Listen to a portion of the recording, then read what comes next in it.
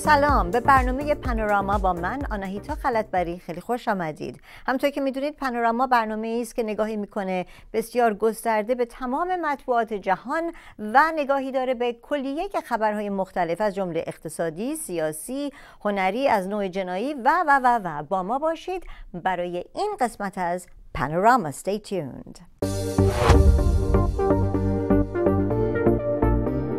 نگاهی می‌کنیم به خبر اول. نیکی هیلی از برنامه ریزی جمهوری اسلامی برای ترور خودش اومده و خبر داده.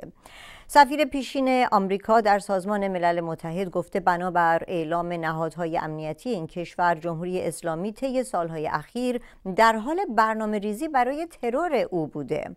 او در پادکست خودش به اسم Nikki Haley Live که در وبسایت Spotify منتشر شده اعلام کرده که FBI برای اولین بار در سال 2020 به او اطلاع داده و در فهرست ترور حکومت ایران به ایشون گفته که قرار داشته و به همین دلیل باید در سفرهای خارجی خودش مراقب باشه. و گفته میشه که فرمانده پیشین نیروی قدس سپاه پاسداران آقای سلیمانی توسط خانم هیلی یک هیولا خوانده شده و او گفته که بعد از کشته شدن او حکومت ایران در تلاش بوده تا دونالد ترامپ و مقامهای ارشد ایالات متحده را هم ترور بکنه.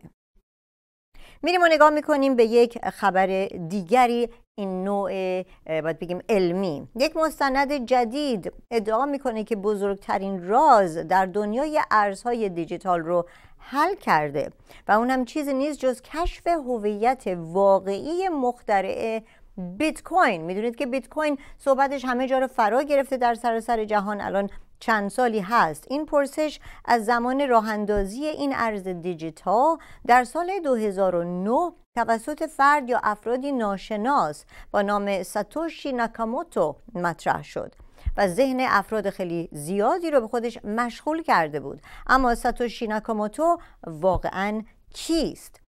حالا سازندگان یک فیلم مستند از شبکه HBO اومدن گفتن که سرانجام به این پاسخ رسیدن که پیتر تاد کارشناس ارزهای دیجیتال اهل کانادا مخترع بیت کوینه اما آقای تاد خودش این ادعا رو مزهک و بسیار غیرقابل باور توصیف کرده و از این موضوع انتقاد کرده.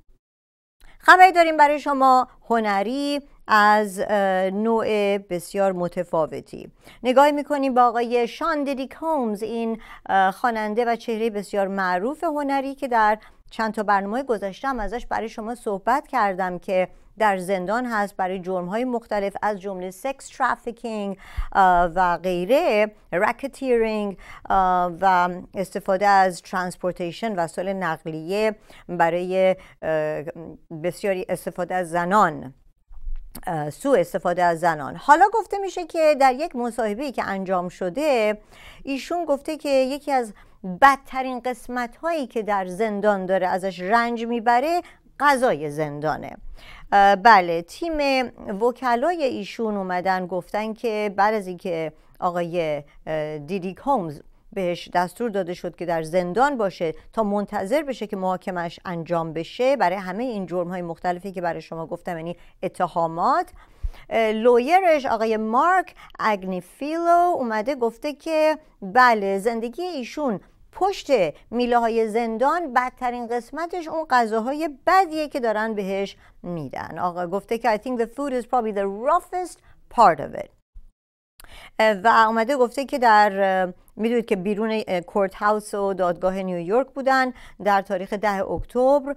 به گفته نیویورک دیلی نیوز و یک وکیل دیگه هم داره آقای انتونی الریکو که گفتن که آقای دیدیک هومز داره سخت سعی می‌کنه که خودش رو اجاست بکنه و بتونه تحمل بکنه غذایی که اونجا بهش میدن. آقای کومز می‌دونید که اومده گفته که من مقصر نیستم ولی فعلا در Metropolitan Detention Center در بروکلین هستش تا بعد. به گفته Federal Bureau Prisons Handbook که توسط E! News هم منتشر شده.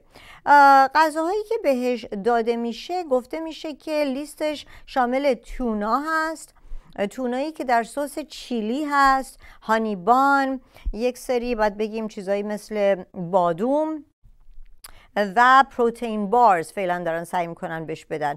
ولی بسیار عجیب غریب هستش که این بیشترین قسمتی هست که بهش اشاره شده از لحاظ که ایشون داره از این موضوع در زندان رنج می‌بره.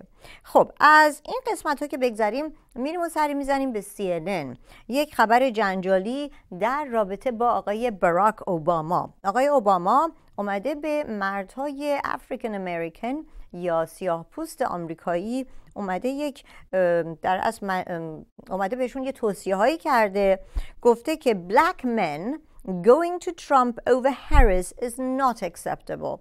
گفته که غیر قابل قبوله که ما ببینیم که مردان سیاپوس بیان آقای ترامپ رو ترجیح بدن روی خانم کمالا هریس. اومده یک statement بزرگ و bold به چاپ رسونده. گفته که you're thinking about sitting out or supporting somebody who has a history of denigrating you. گفته که شما قبل که بیاید به ایشون رای بدید به آقای ترامپ رای بدید بشینید فکر بکنید که این یک کسیه که همش اومده بوده شما رو در از سابقتون رو لکهدار سعی می‌کرده بکنه. Because you think that's a sign of strength. فکر کنید که این مثلا قسمت قوی ایشونه. و یا اینکه putting women down یا اینکه مرتبا تاخیر کردن زنان جز کارای ایشون بوده. گفته the former president said during surprise همه این حرفا رو که اومده زده در یکی از کمپین هایی بوده که به صورت سورپرایز برای خانم کمالا هریس آقای براک اوباما یهویی ظاهر شدن و سعی کردن که خانم هریس رو سپورت بکنن.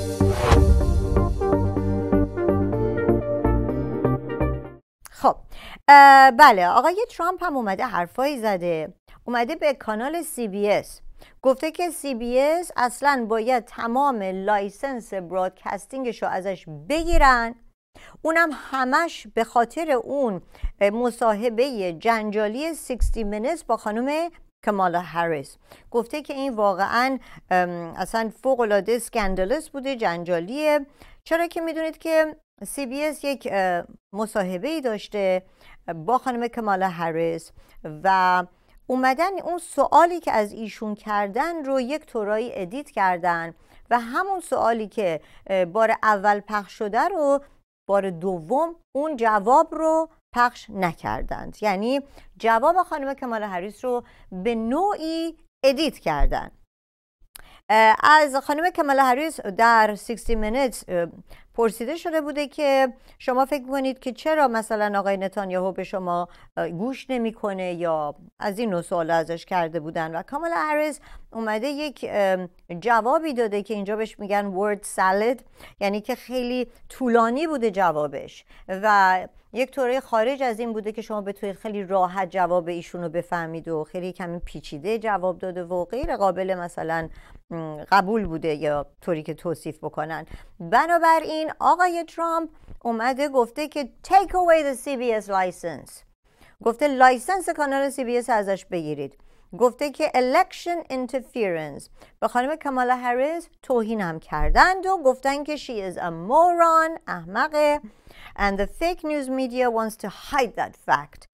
چرا که جواب خانم کمالا هریس به 60 minutes بار اول که پخش میشه متفاوت بوده از بار دومی که این جواب پخش شده. بنابراین آقای ترامپ اومده هر دوتا رو با هم دیگه در از accuse کرده متهم کرده به اینکه دارن همدستی می‌کنن و edit کردن و گفته که CBS باید پس بده اصلا license رو ازش بگیرن. این هم یکی از خبرهای جنجالی روز برای elections 2024 که می‌دونید هر روز داره جنجالی تر میشه و همونطور که برای شما گفتم ما تا روز انتخابات تمام این اخبار رو هر آنچه که بتونیم برای شما خواهیم داشت. حالا میریم به یک خبر متفاوت سری می‌زنیم. میریم به AP نیوز و به اورلندو فلوریدا بعد از این طوفان یا این هریکین بسیار بزرگ میلتون بالاخره اون theme park های بزرگ فلوریدا از جمله والت دیزنی ورلد یونیورسال اورلندو و سی ورلد تصمیم گرفتن که از روز جمعه دوباره این قسمت های بازی رو باز بکنند بعد از hurricane میلتون. البته بعضی از event های مخصوص هالوین رو برقرار نخواهند کرد. این تا اینجا, تا اینجا که به سمع ما رسوندند. اما این پارک ها باز شدند و مردم می‌تونن دوباره برگردن. همونطور که می‌دونید hurricane میلتون با خودش خیلی خسارات داشته. خیلی ها مجبور بودن که اون ناحیه رو ترک بکنن.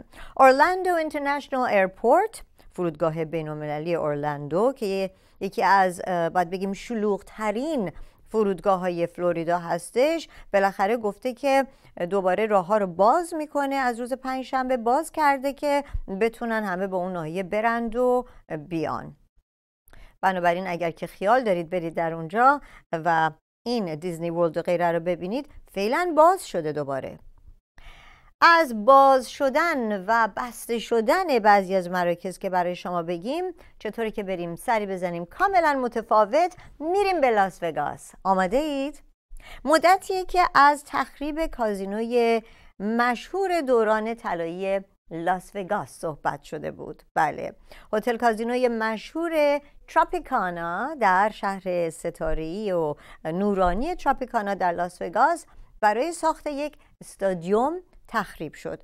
البته من چند ماه پیش بود که خودم در لاس وگاس بودم و می‌دیدم که هر روز اخبار همش محورش همین تراپیکانا هستش که چقدر خاطر انگیز بوده و بالاخره داره بسته میشه.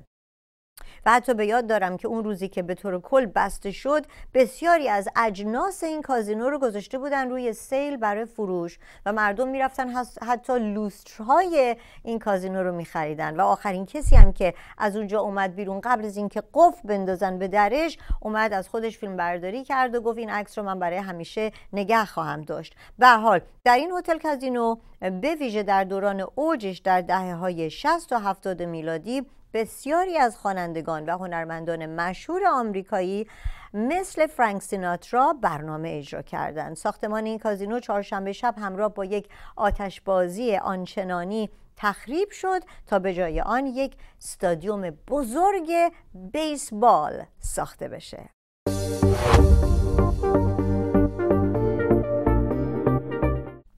و اما اکسیس اکسیس اومده گفته که آمریکا و اسرائیل درباره نحوه حمله به جمهوری اسلامی به همدیگه نزدیکتر شدند.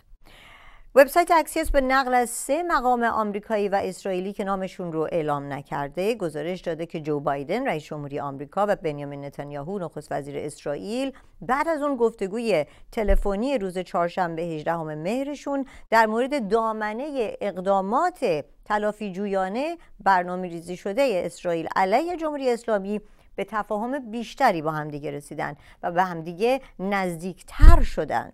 این وبسایت به نقل از یک مقام ارشد اسرائیلی هم گفته که برنامه های فعلی اسرائیل هنوز کمی تهاجمی تر از اون چیزی است که کاخ سفید می‌خواد. و اما باز هم میریم و نگاهی می‌کنیم به خبری کاملا متفاوت کاملا هنری یه جورایی از نوع جنایی. آقای کانیه وست معروف شوهر سابق خانم کیم کارداشیان. فعلا داره دوچار یک سری بحرانات باید بگیم لاسوت و غیره میشه. این دفعه یه کسی که قبلا برای آقای کانیه وست کار می‌کرده کانیه وست می‌دونید که بسیار معروف شده بود و و همچنین رپر بسیار معروفی هستش شوهر کیم کارداشیان بوده. اومده این شخصی که برای آقای کانیه کار می‌کرده گفته که آقای کانیه منو مجبور می‌کرده که برم در مورد تمام خانواده کیم کارداشیان. تحقیقاتی بکنم یواشکی به صورت مخفیانه و بهشون بیام جاسوسی بکنم و خبر بدم. در یک retaliation lawsuit ی که فال شده در court لس آنجلس در تاریخ ده اکتبر توسط ای نیوز با این خبر رو داریم. اون شخصی که داره شکایت می‌کنه که کارمند ایشون بوده و اسمشو نمیگن می‌دونید که بهش میگن جان دو. اومده گفته که وقتی که من داشتم برای این رپر معروف کار می‌کردم به عنوان دایرکتر اینتلیجنس ایشون ایشون گفته بوده که یکی از وظایف شما اینه که بری در مورد تمام خانواده کارداشیان بری و یواشکی جاسوسی بکنی. و تمام اگر که اینا هر گونه جنایتی دارن انجام میدن و لینکی دارن با فرض کنید enterprise های مخصوص جنایی همه اینها رو از جمله فرض کنید sex trafficking اگه دارن می‌کنن اینا رو باید بیاری و تحویل من بدی. حالا E! News اومده سعی کرده که با همه اینها صحبت بکنه کامنت بگیره از خانواده کاردشیان جنر فعلا مسلما نتونسته و موفق نشده. در این lawsuit این آقا که داره sue می‌کنه اینها رو گفته که این rap artist ایشون رو در سال 2022 استخدام کرده بوده. گفته بوده که باید تمام این جاسوسی ها رو برای من انجام بدی. و خلاصه ببینیم که این lawsuit برای آقای کانیه وست به کجا خواهد رسید. خب می‌رسیم به قسمت پایانی پانوراما و این خبر داغ و جالب رو از آقای ایلان ماسک که من بهش میگم ایلان جان به پایان میرسونیم. آقای ایلان ماسک روز پنجشنبه اومده و یک رونمایی کرده البته بیشتر به صورت ویدیویی از یکی از اختراعات جدید خودش به اسم تسلا's روبو تاکسی بله یک تاکسی آنچنانی روباتیکی هستش که هیچ گونه راننده نخواهد داشت و به قول این وریا بهش میگن autonomous. و این در کجا انجام میشه؟ انجام شد در هالیوود استودیو پنجشنبه شب و خلاصه گفته میشه که کلی از کسایی که تحلیلگر هستن در رابطه با اتومبیل و فن روباتیک و غیره و, و کلی کسایی که اینوستر هستن و می‌خوان سهم بذارن همه اونجا حضور داشتن. این کمپانی این سافتور رو که به اسم Full Self Driving هستش نه سال پیش در از اومده بوده که در موردش داشته کار می‌کرده که این صنعت سایبر کب اتومبیل سایبر کب رو به راه بندازه. که میگن که ممکنه اصلا فرمان نداشته باشه. و هیچ گونه پدالی هم نداشته باشه. سی او آقای ایلان جان آقای ایلان ماسک سعی کرده که همه کسایی که می‌خوان سهم بخرن و قانع بکنه که کمپانی ایشون همش پیشرو هستش در AI یا Artificial Intelligence هوش مصنوعی و robotics یکی از اون قسمت های بسیار مهم product های ایشون هست. ببینیم که این taxi cab robo بالاخره robo taxi به کجا خواهد رسید. خب رسیدیم به پایان برنامه پانورامای امشب. آناهیتا خلطبری هستم. تشکر می‌کنم از مدیریت شبکه جهانی پارس و از کارگردانان فنی آقای اسی حکیمزاده آقای سپر خسروی از خانم مرجان نقوی عزیز و آقای شجره. از یکا یک شما عزیزان که با من همراه بودید. تا برنامه بعدی پانوراما خدا نگهدار.